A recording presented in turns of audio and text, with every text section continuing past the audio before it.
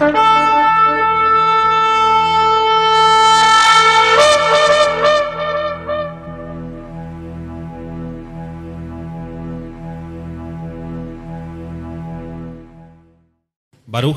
Yahweh Eloheinu melech haolam asher kideshanu b'mitzvotav etzibanu la'asok b'divrei Torah b'shen Yeshua HaMashiach.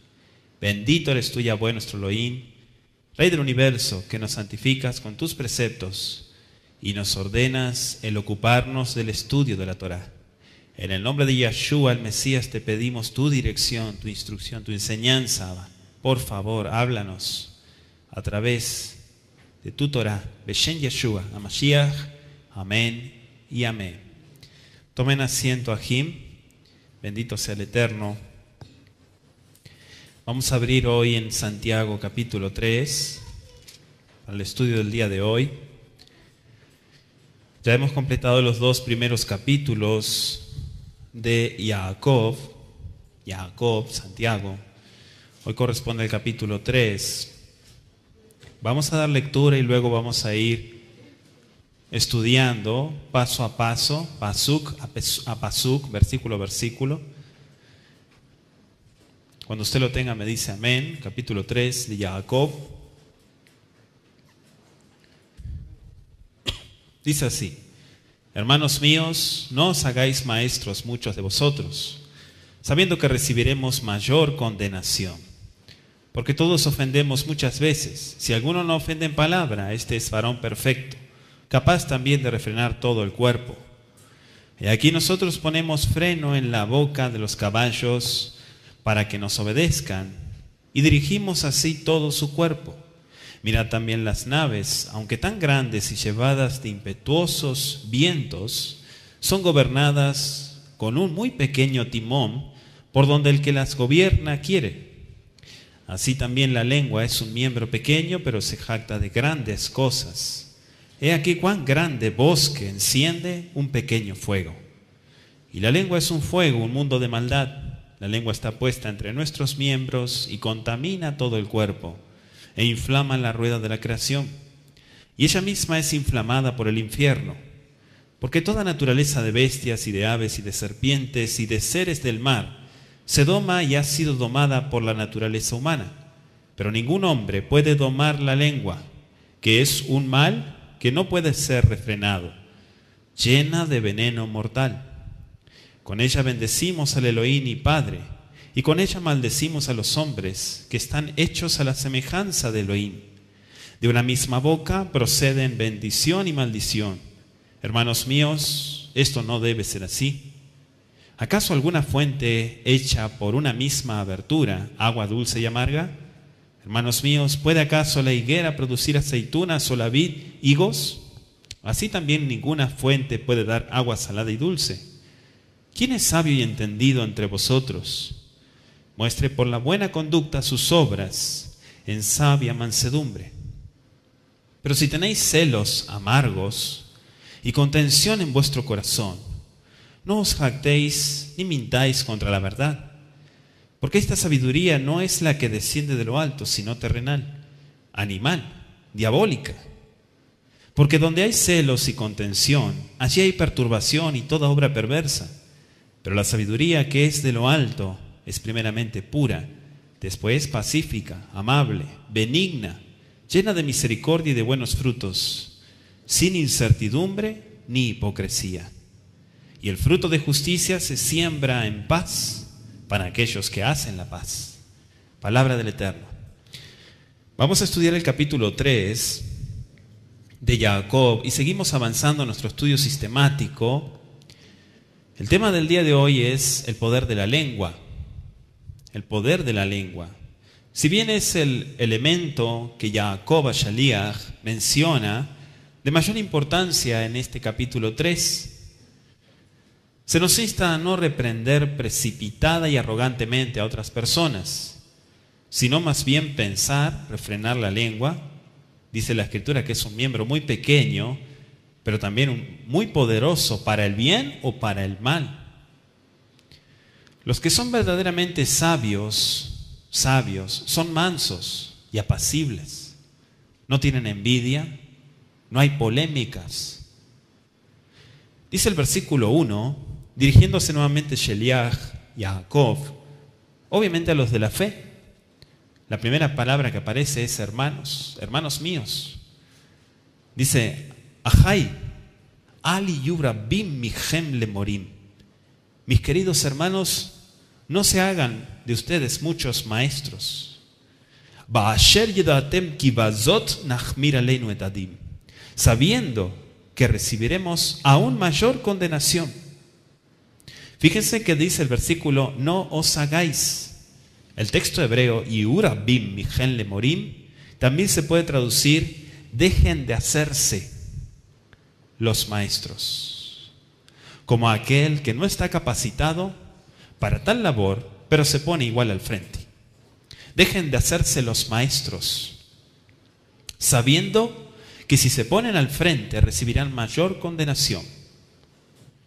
Claro que aquí está hablando una asamblea, por eso dice recibiremos. O sea, Sheliach Yaakov se incluye como un moré, o sea, él es un moré también de la Torah, y como uno que también está propenso a caer en los peligros o a cometer los errores propios en la, digamos, en la situación que se encuentra. Por eso dice mayor condenación, es decir, un juicio más severo. Mis amados ajín, hay grados de responsabilidad en la Keilah, en el pueblo de Israel. Hay grados de responsabilidad. ¿Sí? Eso es importante que usted lo sepa. Y los que se jactan de enseñar serán tenidos por responsables por su conducta personal y obviamente por su influencia sobre otros.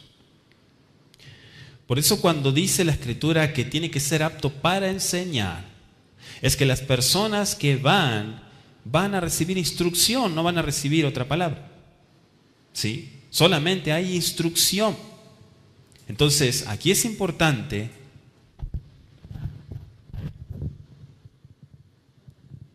¿sí? Es importante que veamos este punto.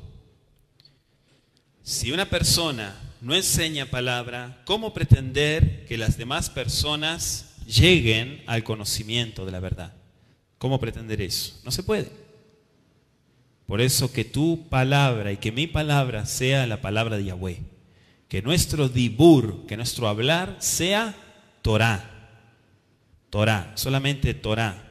Que hablemos versículos, que hablemos palabra, que hablemos edificación, que no hablemos chismorreo, cosas que no son de la Torah. Por eso hay grados de responsabilidad. Mateo 23, 14. Acompáñeme usted, Mateo 23, verso 14. Ay de vosotros, escribas y fariseos hipócritas, porque devoráis las casas de las viudas y como pretexto hacéis largas oraciones. Por esto recibiréis mayor condenación. Fíjese los maestros del pueblo de Israel en la época corrupta de Yeshua. La época de Yeshua fue una época muy corrupta. Y fíjense lo que dice Mateo 23. Impresionante, ¿verdad? Mateo 23, 14. Entonces espera que el maestro conozca la voluntad de Yahweh más perfectamente que otros. ¿Por qué? Porque es el que va a estar al frente. No, se puede poner al frente una persona que no sepa nada. Tiene que conocer la voluntad de Yahweh, porque es la persona responsable. ¿Y qué quiere el Eterno que hagamos? ¿Quién sabe? Imagínense, no sé, pero fui puesto. Entonces no, no es así, amados aquí. Por lo tanto, debe ser ejemplar. Dice el Pasuk 2, Kikulano nikshabim arbe, porque todos ofendemos en muchas cosas. Y aparece la expresión nikshav. ¿Qué significa nikshav? Nikshav, aquí lo tradujeron como ofender, pero significa tropezar o faltar al deber. Tropezar, nikshav, significa tropezar, porque muchas veces tropezamos o faltamos al deber, somos irresponsables, dice Jacob Sheliach. Esta afirmación podría parafrasearse así. Todos los hombres cometen errores en muchas formas cada día. Todos los hombres tropiezan en cierta manera cada día. o faltan a sus responsabilidades. Fíjese lo que dice Primera de Juan, acompáñeme a Primera de Juan 1.8. Primera de Juan 1.8 dice, si decimos que no tenemos pecado, nos engañamos a nosotros mismos y la verdad no está en nosotros. ¿Por qué? Porque es hablar mentira. La persona que dice que no peca, que no peca nada, que está en completa santidad y no, y no peca nada, es un mentiroso. Y la verdad no está en él, dice la Escritura. primero se engaña a sí mismo y luego engañan a, los a aquellos que le compran la idea. La cruda realidad es que los maestros también tropiezan, aunque deben de tener un conocimiento mejor que otros. Por lo tanto, Jacob quiere, amados aquí, lo que quiere decir acá es que solo los mejores son los que deben procurar ser maestros. Pero no está diciendo que una persona jamás peca. Perdóneme, pero sería una tontería decir eso. Y es una falsa realidad que vende la persona. Primero porque ya peca de orgullo. Ya está, ya hay pecado. Entonces no puede decir que no tiene pecado. Amén, Ajim. Por eso dice el versículo 1, no os hagáis maestros muchos de vosotros, sabiendo que recibiremos mayor condenación. y kashel bedibur, dice el versículo 3. Si alguno no ofende en palabra, verso 2, perdón. Si alguno no ofende en palabra, o se puede traducir en su hablar, porque el dibur significa el habla. Dice el versículo, U ishtamim. U ishtamim. Él es un varón perfecto. Este es un varón perfecto. Viajó la John Ressel le colgufó. Y entonces este varón es capaz de, también de refrenar todo el cuerpo. Fíjense que en, este, en esta versión que estoy, que está, obviamente está traducida, no aparece la palabra lengua. Pero dice, si alguno no ofende en palabra, este es varón perfecto, capaz también de refrenar todo el cuerpo. Pero en el texto hebreo dice, es capaz también de refrenar su lengua, por eso refrena todo su cuerpo. Le col gufó. Guf es cuerpo. ¿Por qué dicen palabra? Es decir, en su manera de hablar, en el uso de la lengua. Habíamos estudiado en el capítulo 1 de Santiago, versículo 26, que dice, si alguno se cree religioso, entre ustedes y no refrena su lengua, sino que engaña su corazón, la religión del tal es vana. Santiago 1.26. ¿Se da cuenta, amado? Por eso está hablando del uso de la lengua. El dominio de la lengua es algo muy difícil para los humanos. Mateo 5.37. Vamos a ir rapidito, amados Sajín, y usted vaya tomando nota también usted que está escuchando este tema, me imagino que está tomando nota. Mateo 5:37 dice, pero sea vuestro hablar sí, sí, no, no, porque lo que es más de esto, del mal procede. Ya hemos estudiado, y quiero que escuche también cómo referencia el tema de nuestra página de internet, el poder de tu palabra. Se refiere al poder que tienen tus palabras cuando hablas, cuando te comprometes, cuando te atas con tus labios. Basita, kols fatai, basitades. Tishmor basita. Cuidarás de hacerlo. ¿Por qué dice Jacob que es un varón tam? ¿Qué es un varón tam? Es puro. Acá lo traducen como perfecto. Es un varón puro. Esa expresión también lo usó Yahshua en Mateo 5:48. El que habla solo lo que refleja pureza, honradez y bondad, ha alcanzado la meta principal de la semejanza de Mashiach. Tal persona es el mejor maestro que puede haber el que más se asemeja al Mashiach. Mashiach enseñaba palabra, no enseñaba otras cosas. Él hablaba palabra. Él no andaba hablando cosas ajenas a su palabra. Amén. Amén. Baruch Hashem. ¿Lo leyó Mateo? Amén. Lo leemos de vuelta. Mateo 5:48. Dice así, amados. Sed pues vosotros perfectos, como vuestro Padre que está en los cielos es tam. La palabra tam, que significa puro, perfecto, que no tiene suciedad, que no tiene cosas turbias, significa pureza, honrado, que tiene bondad. Por eso dice, es también capaz, o sea, se, se controla el miembro más difícil del cuerpo, es relativamente fácil dominar los demás miembros. Por eso dice refrenar, y lo habíamos estudiado en Santiago 1.26. Amados, aquí en las palabras de una persona revelan la tendencia natural de sus pensamientos. Si uno domina sus pensamientos hasta el punto de que sus palabras sean siempre semejantes a la de Mashiach, todo el cuerpo estará bien dominado, sujeto a la voluntad de Mashiach. Vaya conmigo a Mateo 12, 34 al 37 aquí.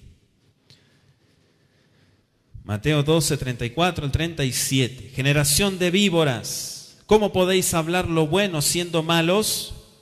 Porque de la abundancia del corazón habla la boca.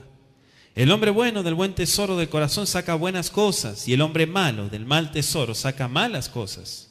Mas yo os digo que de toda palabra ociosa que hablen los hombres, de ella darán cuenta en el día del juicio. Porque por tus palabras serás justificado y por tus palabras serás condenado.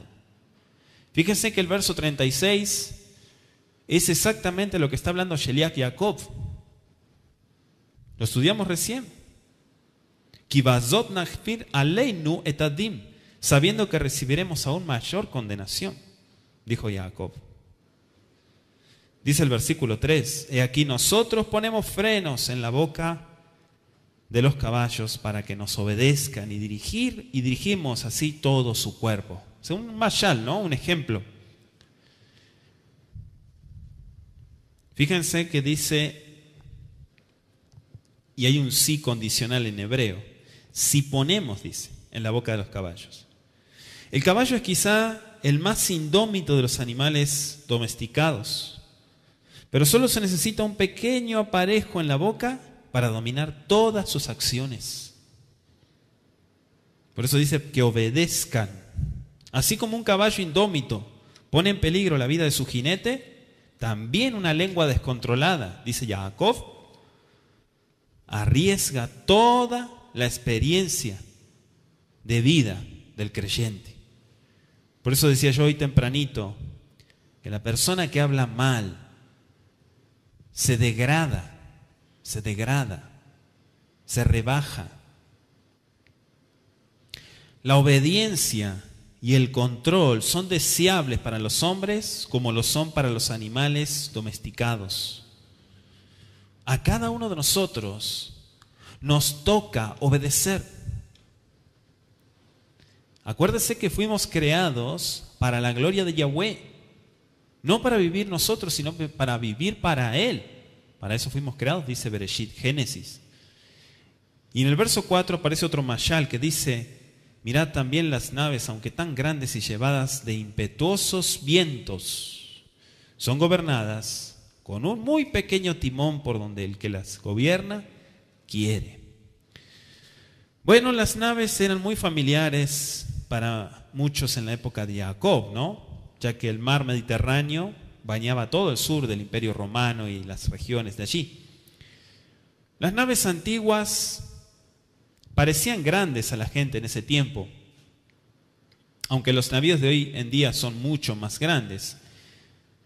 Por ejemplo, Shaul viajó a Malta en un navío muy grande que llevaba 276 personas, lo que incluía tripulación y pasajeros. ese ejemplo aparece en Hechos 27, 37.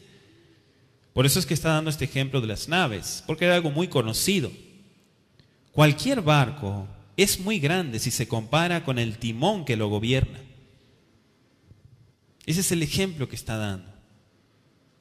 También aparece la expresión caché, caché, que significa duro, rígido, obstinado. Por ejemplo, en el verso 3, el caballo tiene su propia e indómita voluntad y el barco es azotado por fuertes vientos. Pero ambas fuerzas, amados Ajim, pueden ser dominadas por algo relativamente muy pequeño. Es el énfasis que se le pone en este caso al timón. ¿Qué requiere lo que dice Jacob? El razón. ¿Qué es el razón? El razón es la voluntad. ¿Sí? Es la voluntad. Para que usted y yo hagamos la voluntad, ¿sabe dónde está la semillita regada? En la mente. ¿Sí? Para hacer las cosas tiene que estar en la mente esa semillita de querer hacer las cosas, la voluntad, y llevar, ejecutar, hacer. Inea Gadol Ayar Besh Tanata Virenu. Dice el verso 5, he aquí un pequeño fuego, cuán grande bosque enciende. Y hago la aclaración que el verso 5 en el español está mal Está al revés. En el original está, primero dice aquí un pequeño fuego, cuán grande voz que enciende. Y después dice, así también la lengua es un miembro muy pequeño, pero se jacta de grandes cosas. Sin embargo, en, en las versiones está al revés. Dice, así también la lengua es un miembro pequeño, pero se jacta de grandes cosas. He aquí, ese he aquí en el hebreo está primero. O sea que lo invirtieron. Está mal es como que pierde un poco de sentido porque primero habla de cuán grande voz que enciende un pequeño fuego. Amén, Ajim. O sea, este, este pasuk está al revés en el español. Santiago está aquí, Jacob, estableciendo un paralelo entre la relativa pequeñez del freno y del timón y el pequeño tamaño de la lengua. O sea, él destaca el potencial de este órgano, ya sea para bien o para mal. Por eso dice, se jacta de grandes cosas. O sea, la lengua puede inspirar grandes hechos, ya sean buenos o malos. Y en el caso del bosque, un bosque puede ser muy extenso, pero eso no impide que sea destruido por una llama muy pequeña. Por más grande que sea el bosque, una pequeña llama nomás puede destruir ese inmenso bosque. Con algo pequeño se echa a perder todo. Los miembros de la Keilah no solo deben evitar las palabras que destruyen, sino también abstenerse de avivar las chispas destructoras que se dispersan de las palabras ajenas. Por eso dice la lengua, dice el verso 6, es un fuego, un mundo de maldad. La lengua llena de maledicencia. Contamina. Vamos a comparar también con las palabras de Mashiach en Mateo 15.1. Mateo capítulo 15, versículo 1. Dice así. Entonces se acercaron a Yeshua ciertos escribas y fariseos de Jerusalén diciendo, ¿qué dice? diciendo. ¿Qué le dijeron? Porque tus discípulos quebrantan la tradición de los ancianos, porque no se lavan las manos cuando comen pan. Respondiendo él les dijo, ¿por qué también vosotros quebrantáis el mandamiento de Yahweh por vuestra tradición? Porque Elohim mandó diciendo, honra a tu padre y a tu madre, y el que maldiga al padre o a la madre muere irremisiblemente. Pero ustedes dicen, cualquiera que diga a su padre o su madre es mi ofrenda, Elohim, todo aquello con que pudiera ayudarte. Ya no ha de honrar a su padre o a su madre. Así habéis invalidado el mandamiento de Yahweh por vuestra tradición. Hipócritas, bien profetizó de vosotros Isaías cuando dijo, este pueblo de labios me honra, pero su corazón está muy lejos de mí. Pues en vano me honran enseñando como doctrinas mandamientos de hombres. Y llamando así a la multitud les dijo, oigan y entiendan, no lo que entra en la boca contamina al hombre, mas lo que sale de la boca, esto ensucia al hombre. Verso 11. Amén. Tome nota, ¿eh? Baruch Hashem. El verso 6, volviendo a Jacob, dice, el inciso B, ¿no? La lengua está puesta entre nuestros miembros y contamina todo el cuerpo, inflama la rueda de la creación y ella misma es inflamada por el infierno. Fíjense que habla de la rueda, contamina, ¿no? Lo que dijo Yeshua, contamina, lo que sale de la boca, contamina, no lo que entra. ¿Por qué dice la rueda? Obviamente es un simbolismo de girar, el girar de una rueda sobre un eje. Y está hablando de la creación. El transcurso de la vida de un individuo o de la Keilah a menudo es incendiado por la ira y por las palabras imprudentes. Como quien dice, se echa a perder todo. Y por eso también habla del Gena. El Gena, el infierno, literalmente, ¿no? Que aparece también en Mateo 5:22. ¿Qué simboliza el Gena? Todo lo que es malo y merece ser destruido. La lengua que destruye la armonía, que destruye la paz, que destruye las amistades, es movida por una voluntad regida por el mismo Satanás. Por eso ayuda, colabora a que se hagan mal las cosas. Si tu vida y mi vida están llenas de luz, entonces es muy difícil que venga el adversario. Pero si la gente se vive justificando y diciendo, que el, enemigo lo engaña, entonces porque es una persona que no está haciendo las cosas bien. Él engaña a los débiles, aquellos que les falta el conocimiento. Mateo capítulo 13, versículo 25 al 28, Mateo 13, 25 al 28, dice así, pero mientras dormían los hombres, Vino su enemigo y sembró cizaña entre el trigo y se fue. Y cuando salió la hierba y dio fruto, entonces apareció también la cizaña. Vinieron entonces los siervos del padre de familia y dijeron, Señor, ¿no sembraste buena semilla en tu campo? ¿De dónde pues tiene cizaña? Él les dijo, un enemigo ha hecho esto. Y los siervos les dijeron, ¿quieres pues que vayamos y la arranquemos?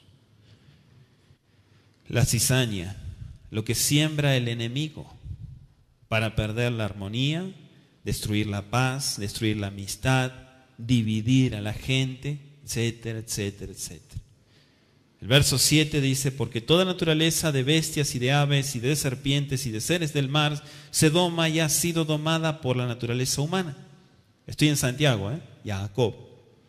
Verso 8, pero ningún hombre puede domar la lengua que es un mal que no puede ser refrenado, llena de veneno mortal.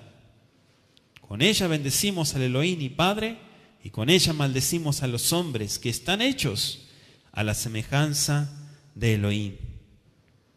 Fíjense qué tremendo, ¿no?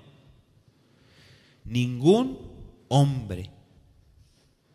No significa que la lengua nunca pueda ser dominada, sino que la naturaleza humana pecadora, caída, por el pecado, carece de poder para dominarla. Esa es otra cosa. El hombre puede domar a los animales, pero no tiene poder para someter a su propia lengua. Qué tremendo, ¿no? Este sometimiento solo es posible por medio de la intervención divina y es un milagro espiritual. Acá estamos hablando de lo espiritual que trasciende a lo físico. Jacob reconoce claramente la posibilidad de dominar la lengua en el versículo 2 y declara a él que los seguidores de Mashiach debemos lograr la bendición sobre el dibur, sobre el habla. En el caso del habla indisciplinado, es decir, que no tiene prudencia, que dice lo que se le antoja, que no piensa antes de hablar y que con sus propias palabras destruye. La lengua dice es un mal solo cuando es regida por una mente movida por las fuerzas del enemigo. Cuando una persona no permite que el Ruach HaKodesh gobierne sus pensamientos, gobierne su vida y por lo tanto sus palabras, la lengua funciona como un instrumento de mal. La persona que se complace en hablar chisme, en hablar cosas detrás de los demás, entonces es una persona que tiene eso sembrado en su corazón. Pero la persona que siente rechazo ante eso es una persona que tiene el don del Ruach HaKodesh. Amén, Ajim. Por eso dice Jacob, es veneno mortal. ¿Qué quiere decir? Te mata. Te mata, te quita la vida. No hay cura. Es decir, que influye sobre la felicidad y la paz de la sociedad, así como el veneno actúa sobre el cuerpo humano. La confianza, la paz, la amistad se pierden inevitablemente debido a las palabras precipitadas, debido a la imprudencia de la gente. Vaya conmigo al Salmo 140, versículo 3, Teilim, Salmos 140, por favor versículo 3. Aguzaron su lengua como la serpiente. Veneno de áspid hay debajo de sus labios, dice. Mire qué tremendo. Veneno de áspid hay debajo de sus labios. Vamos a ir a Romanos 3, Romanos 3, 13.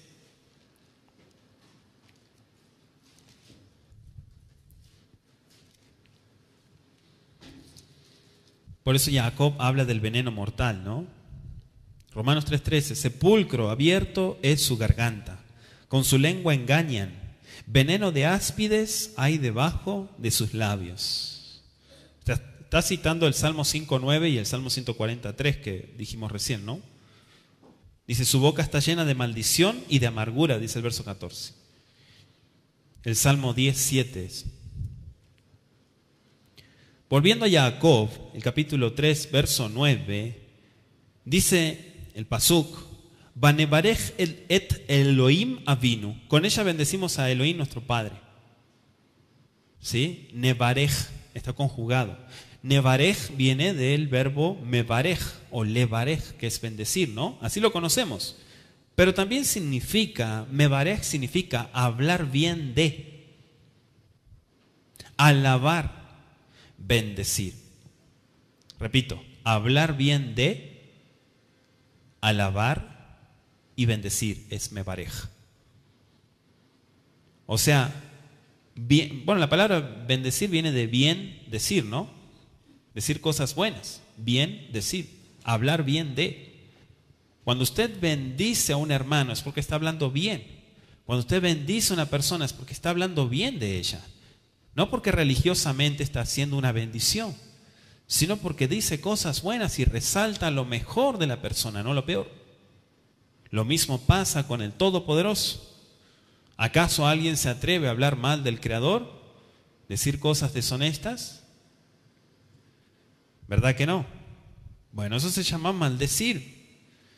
Por eso dice el segundo, la segunda parte del verso 9, Uvane kalel etanashim Azobim Betzela Elohim. Y también dice, maldecimos, estoy en el verso 9, con ella maldecimos a los hombres que están hechos a la semejanza de Elohim.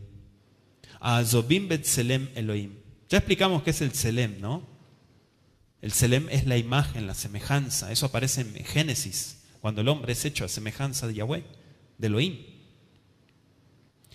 Entonces, amados, la evidencia de que somos verdaderos hijos de Yahweh se demuestra cuando bendecimos a nuestros enemigos. Acuérdense de Mateo 5, 44 y 45.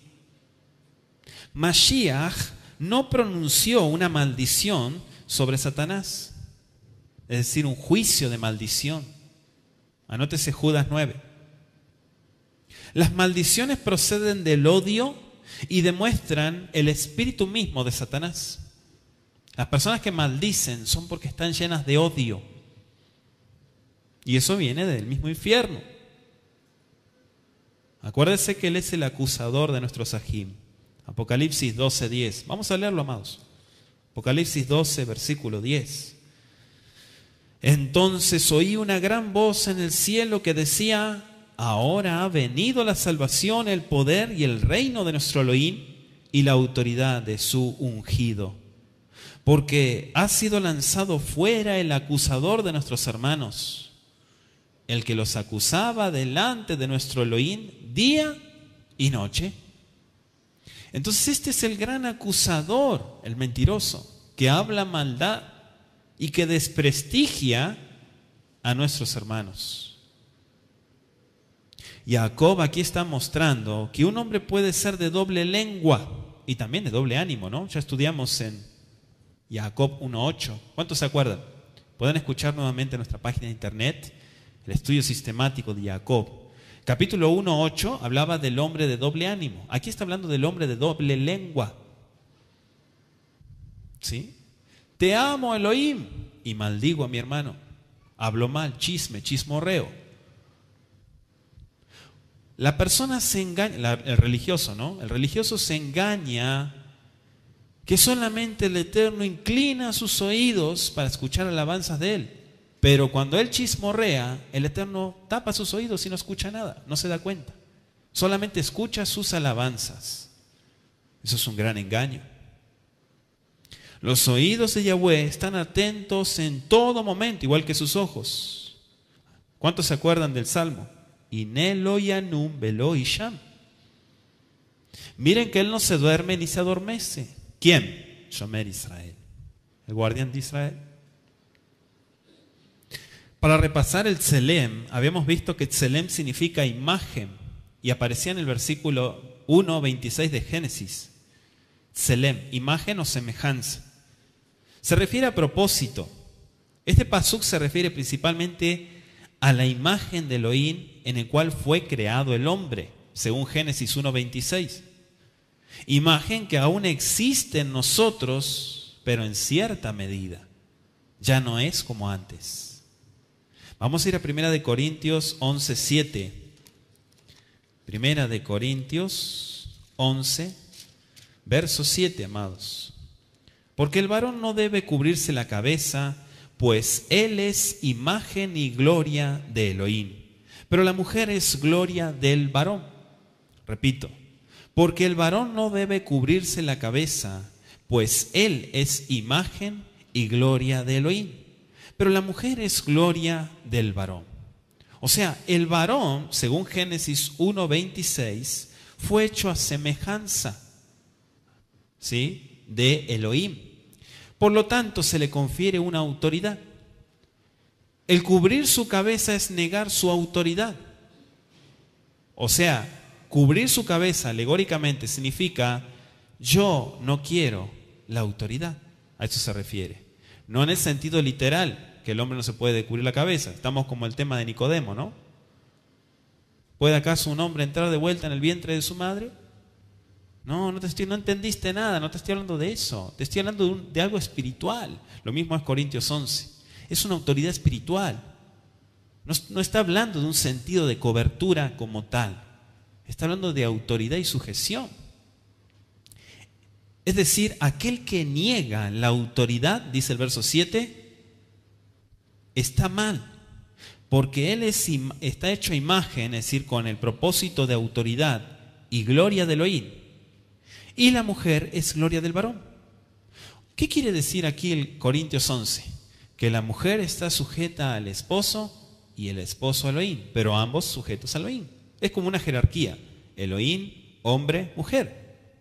Pero todos están sujetos a Elohim. Amén, aquí. Baruch Hashem. Ahora, la escritura nos dice acá, en el sentido de la prudencia, estuvimos viendo, que es importante, amado Sajín, analizar lo que se dice. Hoy le comentaba a una ajot aquí que es importante que siempre pensemos. Los especialistas dicen que debemos de tomarnos tres segundos antes de decir las cosas para evitar errores, consecuencias malas, negativas. Pensar muy bien lo que se dice. Saber muy bien quién soy y qué es lo que quiero y qué estoy haciendo. Verajá ukelala. ¿La bendición o la maldición? Le dijo Israel. ¿Qué quieres? Escoge pues, bendición o maldición. Pero de tu boca no puede salir bendición y maldición. Es imposible. Y ahora vamos a ver el mayal que da Jacob. La mezcla de bendición y maldición podrían sugerir la falta de sinceridad en la bendición.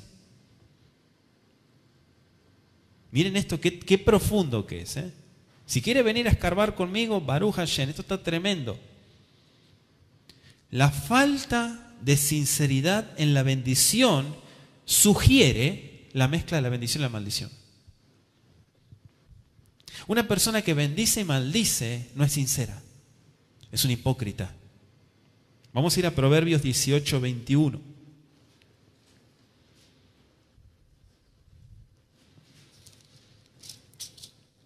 La muerte y la vida están en poder de la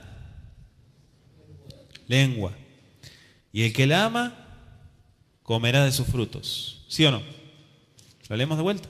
Hasta que usted lo busca, me dice amén. Un amén fuerte para que se escuche. Baruch. La muerte y la vida están en poder de la lengua. Y el que la ama comerá de sus frutos. ¿Cuáles son los frutos que estás comiendo? Por eso dice, hermanos míos, le está hablando a los creyentes, Sahim.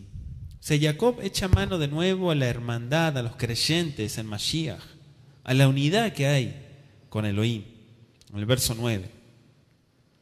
Aunque algunos de los miembros de la Keilah, a los cuales le escribe Jacob, eran culpables de maldecir a las personas mientras estaban bendiciendo a Elohim. Por eso es que él escribe esto. O sea, el Shelías los seguía considerando con afecto, por eso le dice Aubim, amados. Y el verso 9 completa diciendo,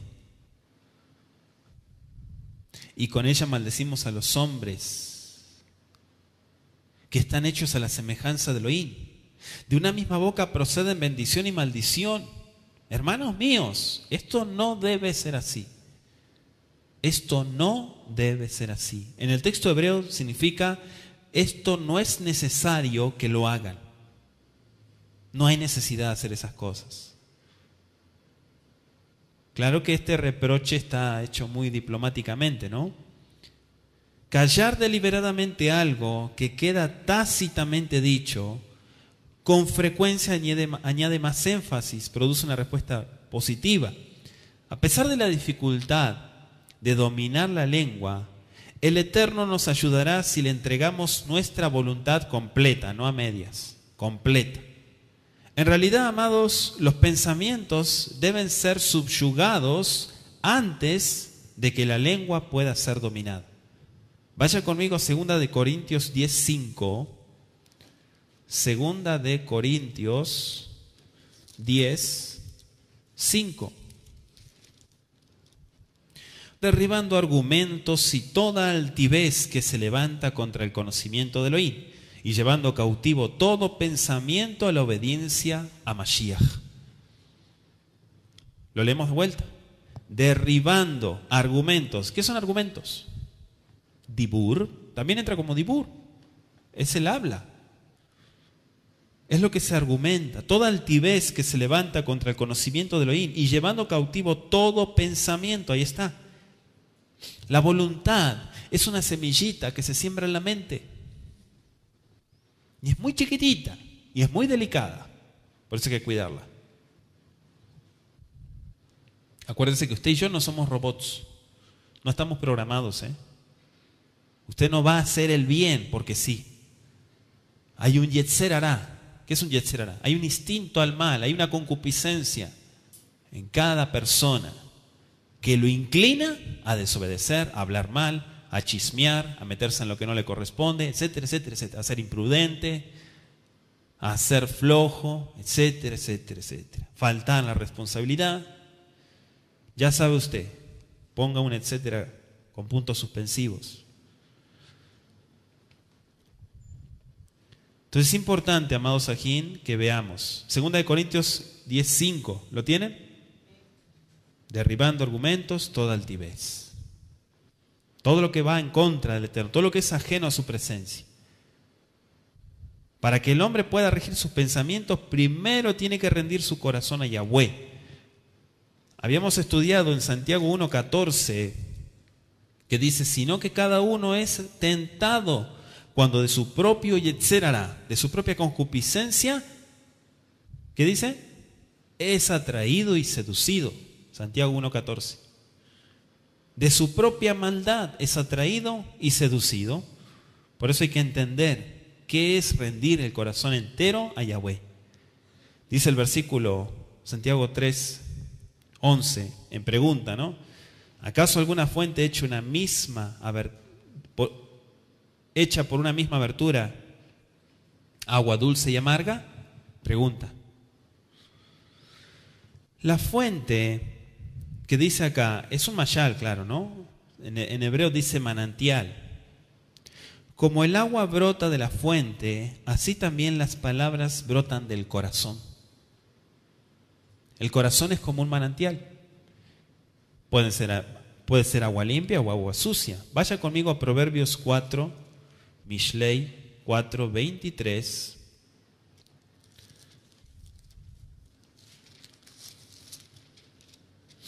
y 24. Sobre toda cosa guardada, guarda tu corazón, porque de él mana la vida.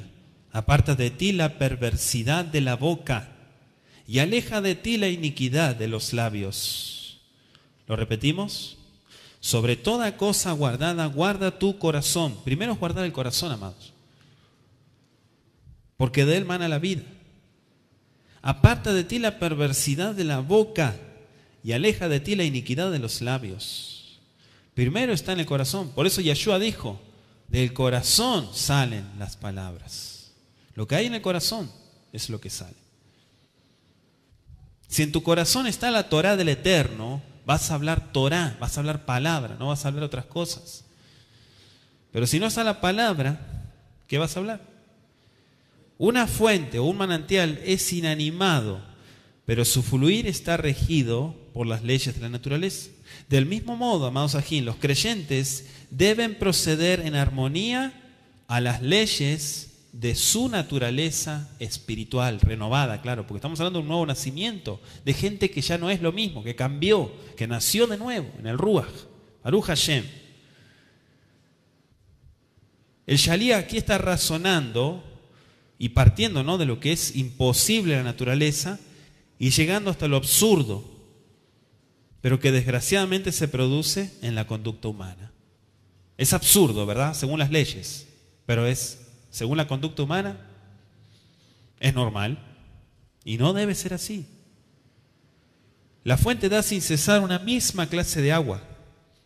Usted vio alguna fuente, sobre todo aquí, ¿no? En esta ciudad que hay bastantes manantiales. ¿Usted cree que está saliendo agua dulce, salada, caliente, fría, un segundo, un ratito una, un ratito otra. No, sale la misma.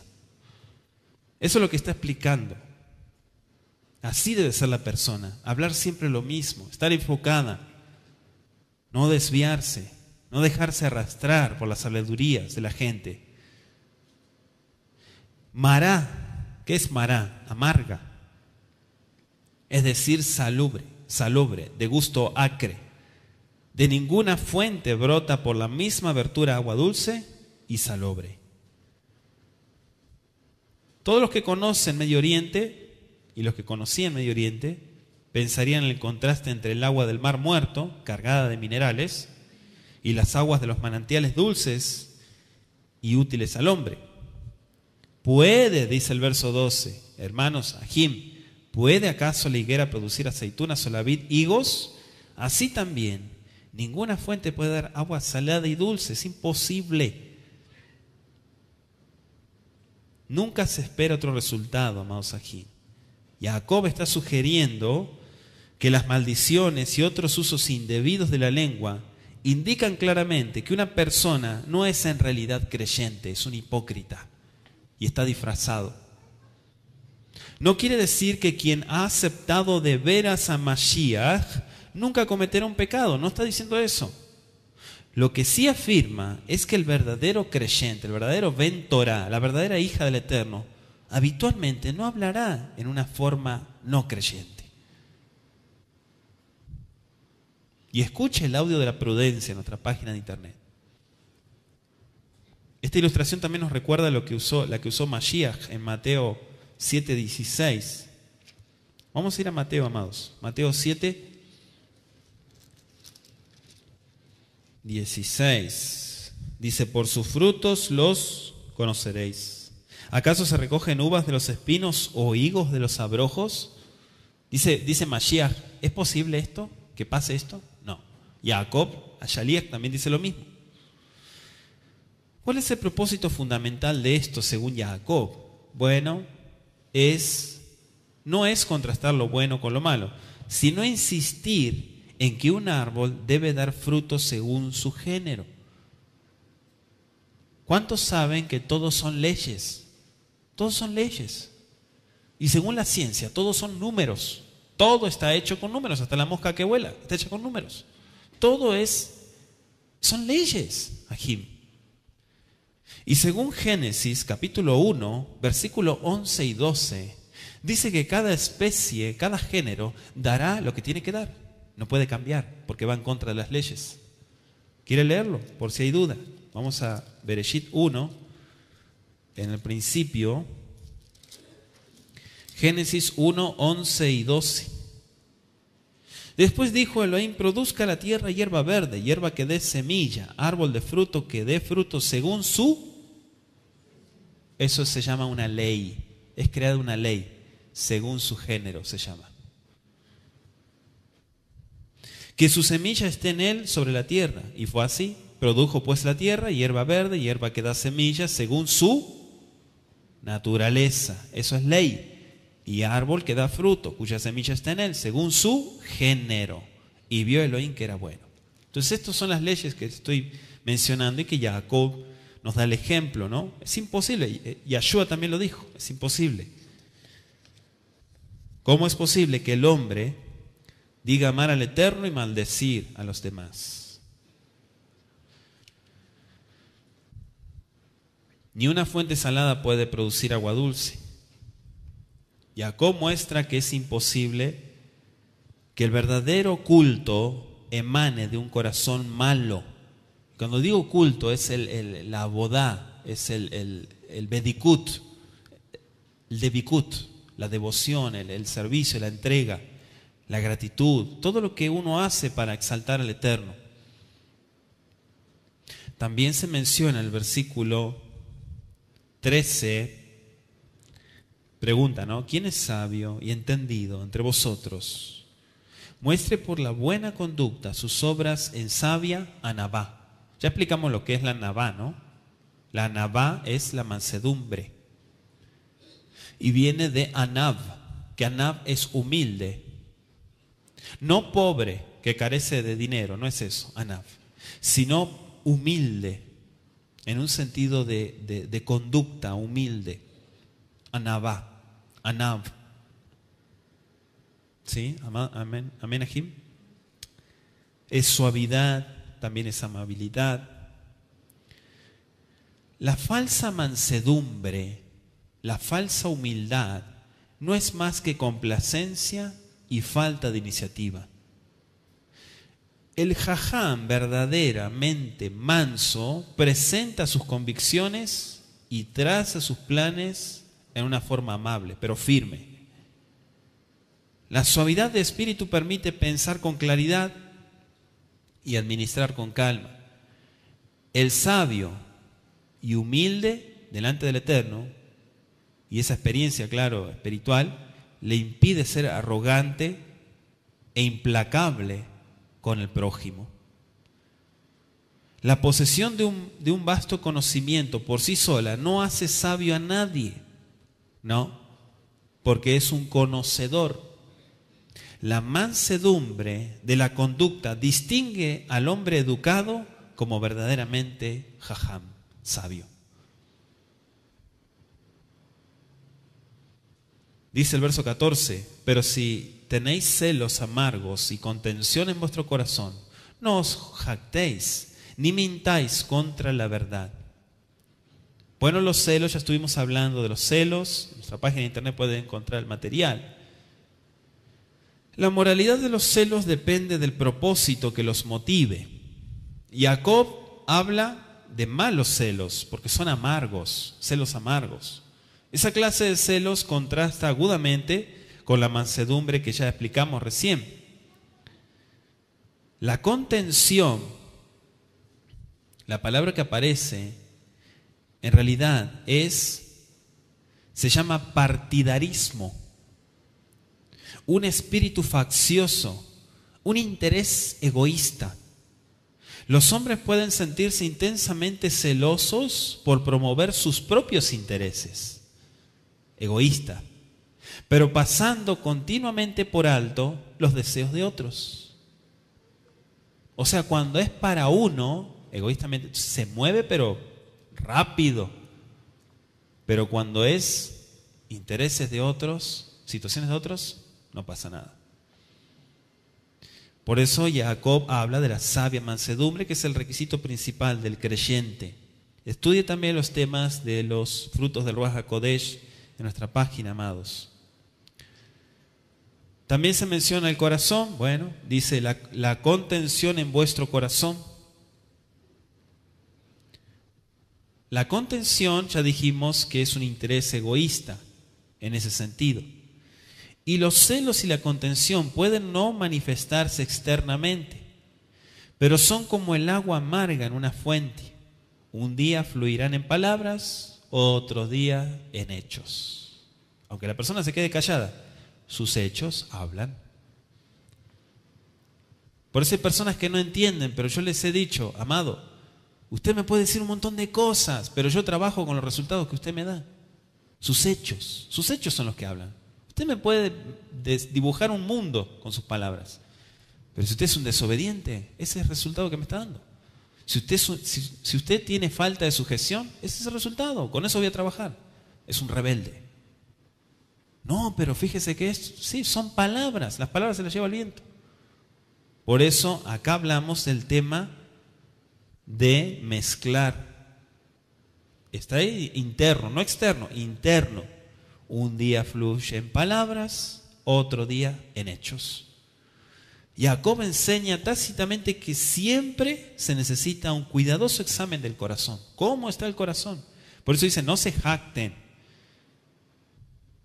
También el texto hebreo dice, dejen de jactarse. Así está, está como en imperativo. Dejen de jactarse. Los creyentes no deben de jactarse de lo que han alcanzado personalmente, ni de sus capacidades, los que tienen espíritu partidista por lo general son agresivos en la búsqueda del apoyo de otros. Esa forma de jactancia revela una falta de verdadera jojma. Sin embargo, un espíritu servicial es la única base legítima para tener un buen nombre. Dice la, la segunda parte, ni tampoco mientan contra la verdad. Estoy en el verso 14. Ni mientáis contra la verdad. ¿Cuál es la verdad? Las palabras de Yeshua. La Torah es la verdad. Tu palabra es verdad. El que profesa ser sabio no debiera traicionar la verdad que enseña, demostrando por su, su conducta que carece del espíritu de la verdad. Por eso decimos que eh, el exponer, el enseñar, es porque se pasa por una experiencia. Pero una persona que se pone a exponer cosas que no tiene ni idea, no, se le viene como un boomerang. Se le viene como un garrotazo. La misma palabra, porque la palabra tiene vida. Amén. ¿Cuánto dicen amén? Solo tiene valor la teoría de la verdad cuando se manifiesta en una conducta que revela el Mashiach, que es la personificación de la Emet, la Torah de verdad. Vamos a primera de Juan 2.6. Dice, el que dice que permanece en él debe andar como él anduvo. Repito, el que dice que permanece en él debe andar como él anduvo. Si no anda como él anduvo, no está en él. Uno más uno, dos. No hay secretos. Es fácil, es sencillo. Si no está, es mentira. Juan 14, versículo 6, dice, Yahshua le dijo, yo soy el camino, la emet y la vida. Nadie viene al Padre si no es a través de mí. Yo soy la verdad. Si estás con Yahshua, estás con la verdad. Si estás obedeciendo a Yahshua, estás obedeciendo a la verdad, no estás obedeciendo a la mentira. Volvemos a Jacob, verso 15, porque esta sabiduría no es la que desciende de lo alto, sino es terrenal, es animal y es diabólica, dice Jacob. ¿Cuál sabiduría? ¿A qué sabiduría se refiere? La sabiduría del mundo. La sabiduría de los que traicionan la verdad mediante un espíritu desprovisto de mansedumbre, del espíritu de la Torá. Jacob reconoce dos clases de sabiduría, así como ha reconocido dos clases de fe. Lo estudiamos las dos clases de fe en el capítulo 2.17 de Jacob. ¿Cuántos se acuerdan? Aquí hay dos clases de Jokma. Como en el caso de una fe muerta, esta clase de sabiduría lo es solo de nombre. Es en realidad astucia, no es sabiduría. Es habilidad lógica. Es sutileza, pero no es sabiduría. Es sutileza que se emplea por conveniencia propia. Qué sabio. No, no es que sabio, es un vivo bárbaro. Eso no es sabiduría. Versículo 16, porque donde hay celos y contención, allí hay perturbación y toda obra perversa. ¿Donde hay qué? Celos, anótelo, celos y contención. Acuérdese que explicamos qué es la contención, ¿eh? ¿Qué es la contención? A ver, ¿quién lo notó? Es que necesita contención. No, no es esa contención, ¿eh? es la contención mala. Es tener un espíritu partidario. Es un interés propio. Eso se refiere acá. Por eso hay que, hay que entender bien lo que la Biblia dice. No se vaya a confundir. ¿eh? Que escuchó la palabra contención, no es esa contención. Celos y contención. Una persona egoísta. Allí hay perturbación y toda obra perversa. La palabra hebrea que aparece para perturbación significa tumulto, significa inquietud, una persona inquieta. Como está inquieta, hace puras tonterías y sus decisiones son malas. El egoísmo en la familia o en la Keilah siempre produce inestabilidad en todo lo que hace. Sí, amado. Inestabilidad. 100% asegurado de que es así. Por eso son datos que nos da Jacob. Lo que a su vez causa desventura, confusión. Estoy confundido. Sí, claro, claro que vas a estar confundido. La sabiduría que no viene del eterno, que no es de lo alto, finalmente va a revelar su naturaleza mediante sus frutos. ¿Qué es lo que quería la persona? ¿Qué quería alcanzar? Ahí está, eso es lo que quería. El fruto se muestra. Cuando la persona dice, no, yo quiero buscar del eterno, quiero buscar, quiero esto. ¿Seguro? Sí, yo quiero. Pasa una situación. ¿Dónde está fulano? No sé, no vino más. Eso es lo que quería. Tarde que temprano se muestra. Se muestra cuando viene de lo alto o cuando viene del mismo infierno sabiduría, sutileza humana. Y la palabra para perversa es una palabra que se traduce como inútil, que no sirve para nada. ¿Sí? Ahí dice la sabiduría que desciende al alto sino terrenal, animal, diabólica, dice acá. Porque donde hay celos y contención, allí hay perturbación y toda obra perversa. La palabra perversa en el texto hebreo aplica eh, eh, la traducción inútil que no tiene ningún, ninguna utilidad, que no sirve para nada. Un programa cuya base es el egoísmo y que es promovido por un espíritu contencioso fracasará finalmente debido a su propia debilidad. No hay fortaleza. El pecado y el egoísmo nunca van a producir armonía, shalom. Jamás. Jamás. vas a sentir shalom por pecar. Jamás. Jamás te vas a sentir bien por ser un perfecto egoísta. Jamás.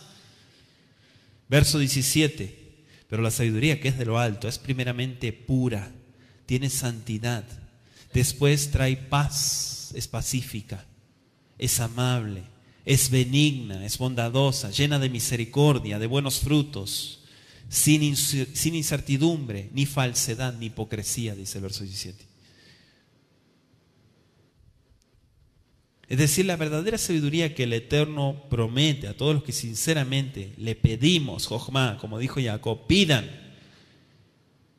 es sin contaminación, tan pura, honrada. Ya usted anotó, ¿no? Los sinónimos. Entonces esa cualidad es la primera porque las siguientes proceden de todo lo que viene del Eterno, ¿no? Esta sabiduría está libre de principios, propósitos y metas terrenales, mundanos. Repito, esta sabiduría está libre de principios, propósitos y metas mundanas, terrenales, materialistas. ¿Qué pidió Shlomo? Sabiduría. ¿Pidió casas? ¿Pidió coches? ¿Pidió negocios? ¿Qué pidió? sabiduría. Por eso esa sabiduría es algo que se le concedió. Lo demás vino por añadidura.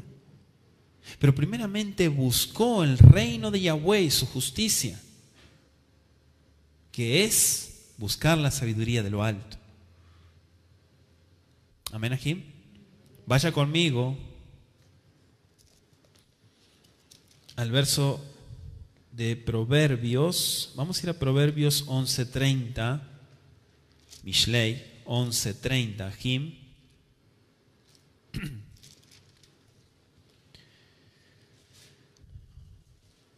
Y dice el verso 18, habíamos leído, déjelo marcado ahí. Y me imagino que usted está en Santiago 3, ¿no? Santiago 3, 18, terminamos, el último pasuk dice, y el fruto de justicia se siembra en paz para aquellos que hacen la paz. El fruto.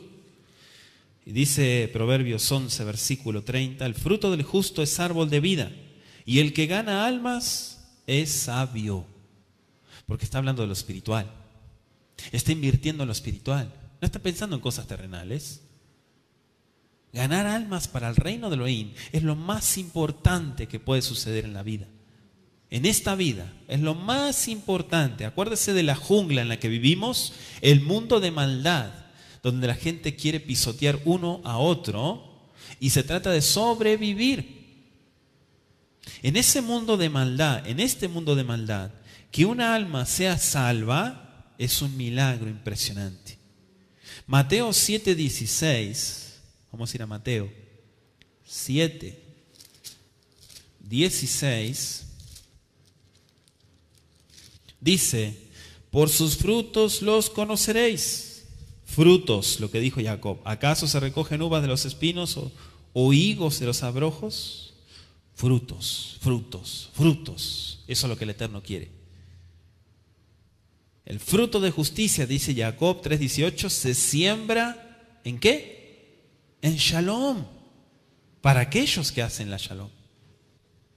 Para aquellos que hacen la paz ¿Qué es la justicia? Es bien hacer, es proceder correctamente. No es proceder incorrectamente, eso se llama injusticia. Entonces aquí se presenta a la justicia como productora de frutos. Y mire lo que dice Mateo 3:18. Mateo 3, 18, amados. 8, perdón, 3, 8. Haced pues frutos dignos de arrepentimiento. Lo repetimos. Haced, es decir, hagan. Hagan pues frutos dignos de arrepentimiento. Eso es justicia. Si tiene duda en cuanto a lo que es la shalom, escuche en la serie Frutos del Ruach HaKodesh el tema la paz, la paz. ¿Qué es la paz? ¿Sí? No tiene nada que ver con contención, con celos, con, con enemistades. No, no, no, no. Nada que ver con eso, amados. Por eso dice los que hacen la paz. Los verdaderos creyentes reconcilian las diferencias tanto en la familia, por eso somos, dice la escritura que somos pacificadores. No personas que estamos con el rifle, con el fusil, para ver quién se nos acerca y dispararle. Y son todos enemigos. Y hay que matar a cuantos más matemos, mejor. Así no es, amado. El conocer la Torah es ser un embajador de Mashiach en la tierra. Y es una gran responsabilidad. No es para que te pongas sectario y empieces a hablarle mal a todo el mundo y que todo el mundo está maldito. No es así. Es llevar las buenas semillas para que el Elohim de paz haga la obra. Vamos a ir a 1 Tesalonicenses 5:23. Fiel es el que os llama, el cual también lo hará. Verso 23 y el mismo Elohim de paz os santifique por completo. ¿Qué significa que los santifique? Que los consagre a Él, que los aparte plenamente para Él. Y todo vuestro ser, espíritu, alma y cuerpo, sea guardado irreprensiblemente para la venida de nuestro Adón Yeshua a Mashiach. Porque fiel es el que os llamó, el cual también lo hará. Entonces, en resumidas, amados Ajim, ¿qué hemos aprendido de este capítulo 3 de Jacob. ¿Cuáles son algunos pecados del hablar? Y quiero que tomen nota. Usted que le gusta estudiar las raíces hebreas de nuestra fe. Fíjese que en la Torah vemos un mar inagotable de jojma, de sabiduría y de claridad para aquellos que amamos al Eterno.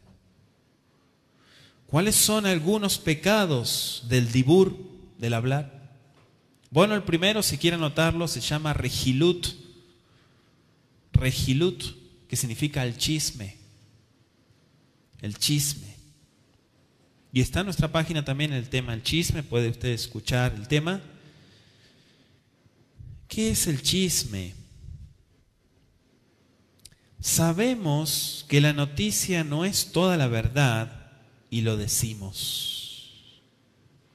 Sabemos que la noticia no es toda la verdad y lo decimos. Estamos frente a una difamación o una calumnia. Eso es regilut y es un pecado delante del Eterno. O sea, sabemos que la noticia es verdad y pensamos que muchos o todos deben de saberlo. Entonces estamos frente al chisme y estamos frente a la murmuración. Pensamos que todo mundo tiene que saberlo. es desparramar cosas deshonestas, chisme, murmuración. Santiago 4:11 dice, hermanos, no murmuréis los unos de los otros. El que murmura del hermano y juzga a su hermano, murmura de la Torá y juzga a la Torá. Pero si tú juzgas a la Torá, no eres hacedor de la Torá, sino eres un juez. Como que tienes la capacidad de cambiar la Torá. Ay, ay, ay. Hermano, no murmuréis los unos de los otros. Regilut. Eso es regilut. Murmurar, chismorrear, ser un chismoso. Dos, la aquifá. ¿Qué es la aquifá? La indirecta. Hablar y decir indirectas. Ese es un pecado. Es un silencio embarazoso cejas arqueadas, mirada burlona, es pecado. No tenemos que decir las cosas en la cara para que la comunicación sea clara y dura. La indirecta. Tres, la ithamfut. ¿Qué es la ithamfut? Es la adulación. Mire cuántas cosas aparecen en la escritura. La adulación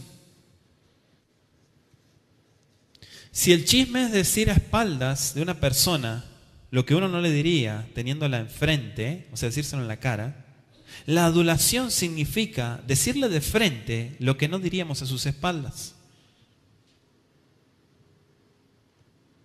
Le expresamos un cumplido le elogiamos, pero insinceramente, hipócritamente. Eso es la adulación. De frente, elogios, todo falsedad, ¿no? Hipocresía, eso se llama adulación. Proverbios 29:5 dice, el hombre que lisonjea a su prójimo le tiende red ante sus pasos. Repito, el hombre que lisonjea a su prójimo le tiende una red ante sus pasos.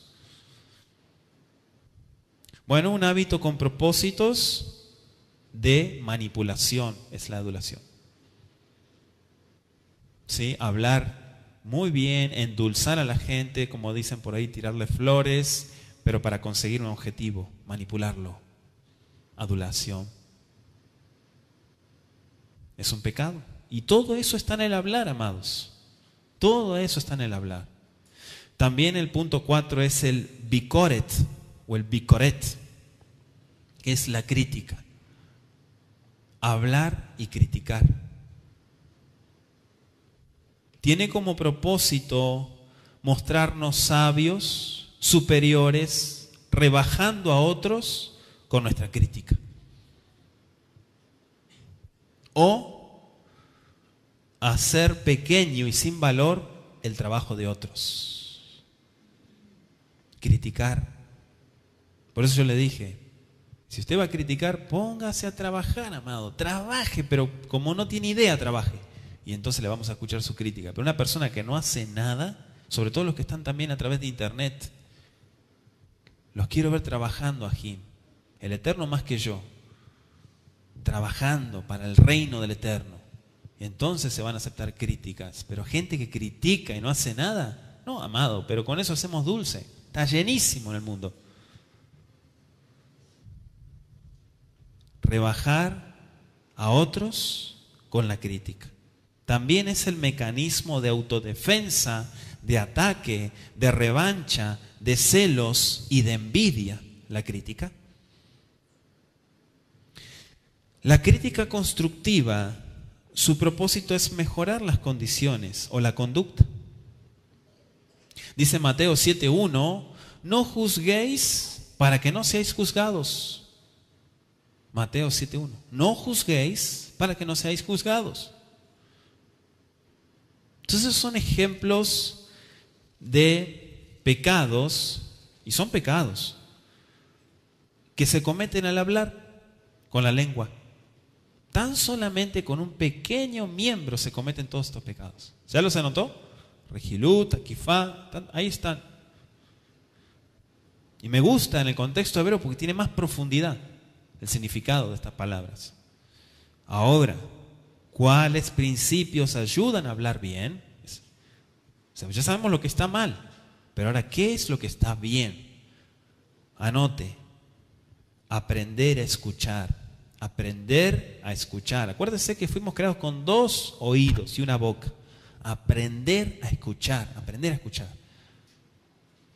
Ya de hecho lo estudiamos en Jacob que dijo Mair Lishmoa. ¿Qué era Mair Lishmoa? Rápido para poner atención con el oído, escuchar. Prontos para oír, lentos para hablar. Lo dijo Jacob. Aprender a escuchar, dice Proverbios 18.2 no toma placer el necio en la inteligencia, sino se deleita en ventilar sus propias opiniones. Lo dijo Jajam Shlomo en Proverbios 18.2. Otro consejo, buscar la ayuda del maestro. Buscar la ayuda del maestro. Dice el Salmo 141, 3 y 4. Pon guarda mi boca, oh Yahweh. Guarda la puerta de mis labios. No dejes que se incline mi corazón a cosa mala. Y ya sabemos lo que está mal. Así que nuestro corazón no se incline a esas cosas. A la adulación, a la manipulación, a la habladuría, al chismorreo, etcétera, etcétera. No, no, no. Eso no. Pon guarda mi boca, Abacadosh. Guarda la puerta de mis labios. Y obviamente que nuestro corazón no esté inclinado a eso. Tres, pensar antes de hablar. Ya lo mencionamos, ¿no? Pensar antes de hablar. Dice Proverbios 15, 28.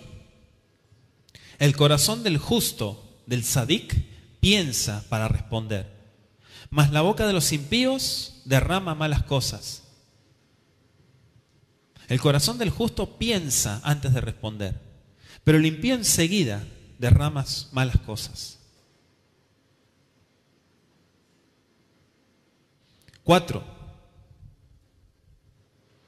discernir la necesidad del momento. Discernir la necesidad del momento. Vamos a Efesios 4, 29.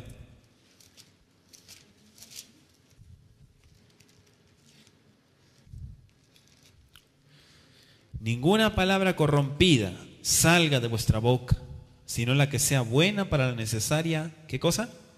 Edificación. A fin de dar gracia a los oyentes. ¿Qué es gracia? Favor del Eterno. O sea, que el Eterno ponga su favor, ponga su, su, amor, su voluntad preciosa con las personas. O sea, cuando usted le enseña a Torah a otra persona, le enseña a Torah a los niños, le enseña a Torah a otra persona, le está sacando un grave error. Y está, usted lo que está haciendo, está siendo una intercesora al sacarlo de la mentira y hacer que el favor del Eterno venga con esa persona. Y las maldiciones huyan, se escapen. Pero si la persona sigue en la ignorancia y sigue obrando mal y no se le enseña el camino de la verdad, entonces la persona está como desprotegida. Por eso dice Efesios 4:29, la que sea buena para la necesaria edificación. ¿Cuál es el punto 4? Discernamos la necesidad de cada momento. Discernir, y eso es algo espiritual. Eso no es intelecto, ¿eh? eso es algo espiritual, es algo un don que viene de lo alto. Es discernir lo que realmente quiere. Lamentablemente muchas veces la gente quiere escuchar lo que quiere su concupiscencia. Entonces cuando usted le dice, no, no es así, ya empieza a hacer el berrinche, ya se enojó, ya no es el Eterno hablando a través de él, ya me dijeron que no, me dieron la negativa. Pero eso es por el capricho que quiere hacer. Se quiere salirse con la suya. Entonces va a ir a otro lado a que le digan lo que quiere escuchar. También le dicen lo mismo. Vamos a otro lado y saltando de rana como rana. ¿Sí? De piedra en piedra, saltando, saltando. A ver dónde me dicen lo que quiero escuchar. Y así no es, amado. La persona que tiene el Ruach HaKodesh le va a decir lo mismo. No hay tres, cuatro Ruach HaKodesh. Es uno solo. Y el Ruach no miente. Cinco, valorar el silencio. Dice Proverbios 11:12, el que carece de entendimiento menosprecia, es decir, habla mal, a su prójimo, mas el hombre prudente calla. Por eso antes de ensuciar, mejor callar. Estaba por ahí, ¿no? La frase. Si no tienes nada bueno que decir, nada edificante, usa el, ¿cómo es? Usa el mejor lenguaje del silencio. ¿Sí? Algo así dice la frase. El lenguaje del silencio ese, pero no falla, amados, no falla. Si no tienes nada importante que decir, mejor cállate. ¿Lo anotó? Proverbios 11:12. Menosprecia. ¿Qué es menosprecia? En el hebreo es hablar mal a su prójimo. Habla mal de su prójimo. ¿Por qué? Porque no entiende, no, no hay Torah, no hay luz, no hay Ruach HaKodesh. Va a hablar cosas malas. Pero la persona que es prudente cierra la boca, calla y se limita a escuchar. Hasta cierto punto. Porque el sadik no se sienta a escuchar chismes. El sadik empiezan con el chisme, se levanta. Uno, abre su boca para decir cállate, deja de hablar mal porque eso es una persona con valor. La persona cobarde dice, yo no me meto, yo no vi nada, no escuché nada, quédense ahí, muéranse en el pozo de la mentira, yo me voy, yo corro por mi vida nomás. Eso está mal, eso va en contra de la Torah. Si nosotros tenemos la posibilidad de salvar a alguien del mismo infierno, tenemos que hacerlo. Y la Torah dice, cuando la vida de tu prójimo estuviera en peligro, extiéndele la mano y sálvalo, sácalo del error. No vaya a ser que por un chisme se vaya al mismo infierno. Hasta aquí completamos el estudio de Jacob, Santiago, esperando que Abacadosh siga ministrándonos de su palabra. Vamos a darle gracias a Abacadosh por su instrucción y que realmente sea su palabra puesta en cada corazón, que Él ponga guarda en nuestros labios, que hablemos solamente su verdad, su justicia. Abacadosh, en el nombre bendito de Yeshua, a Mashiach, hacemos tefilá con gratitud, con agradecimiento, porque nos amas, porque nos das tus consejos que son verdad, que son luz para nuestro caminar. Abacadosh, no solamente te pedimos que guardes nuestros labios, sino que guardes nuestros oídos, nuestro corazón, Padre, sea entregado a tu plena voluntad, Abacadosh. Beshen Yeshua. Te pido que sigas ministrando, restaurando corazones, limpiando las mentes de toda suciedad, de toda cosa ajena a tu presencia. Gracias, Abacadosh, por la vida de Jacob, Ashaliach, por el enviado que has dado, Padre, a tu pueblo Israel, para hablar buenas noticias. En el nombre bendito de Yeshua HaMashiach. Inclina tu oído a nuestras oraciones, Abba bendito. Y gracias te damos, Abba Kadosh, por tener un Padre amoroso, por escuchar nuestra plegaria, nuestro ruego, bendito Rey. En el nombre de Yeshua HaMashiach, toda Rabba te decimos amén y amén.